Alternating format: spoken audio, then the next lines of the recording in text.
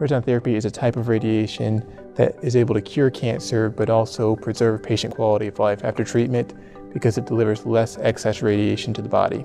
Proton therapy is able to, to cure head and neck cancers, but also to reduce trouble with swallowing, trouble with their uh, dry mouth, trouble with taste, and pain during treatment.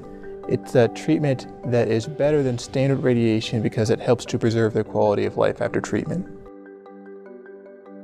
The strength of proton therapy is that it's able to treat a wide variety of head and neck cancers, those that include those of the tonsils, the tongue, the floor of mouth, the nasal pharynx, nasal cavity. And so we're able to treat a number of patients with head and neck cancer, um, which is, I think, part of the, the, the benefit of, of treatment. I enjoy treating patients with complex head and neck cancers and curing them with a evolving and advanced form of technology like proton therapy.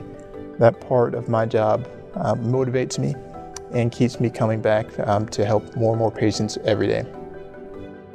The most important thing that I would like patients to know is that at UF Health, we realize that cancer is a life-changing diagnosis.